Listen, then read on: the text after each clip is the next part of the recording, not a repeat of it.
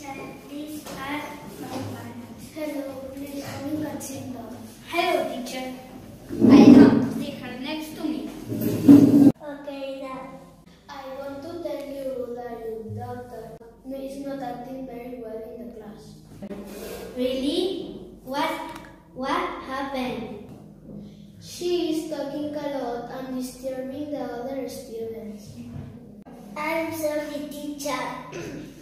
You cannot use the TV or the computer during two nights. We will talk and she will be punished.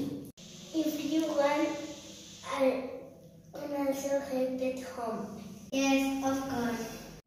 At the school, she is already punished without, without playground for two days. That's okay for us. And at home,